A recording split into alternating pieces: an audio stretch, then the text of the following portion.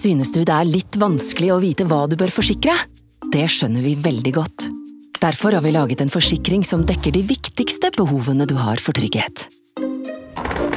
Enten du er i etableringsfasen, har stiftet familie eller har kommet et stykke videre i livet, Eika Pluss gir deg den beste forsikringen for både innbo, reise, helse og ulykke i ett og samme produkt.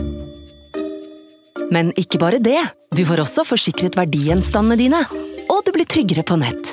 Altså en forsikring som dekker dine viktigste behov for trygghet, til kanskje markedets beste pris. Og har du barn, er barna også dekket av forsikringen. Med Eika Pluss får du i tillegg ekstra gode betingelser på forsikring av bil og bolig, og andre ting du er glad i.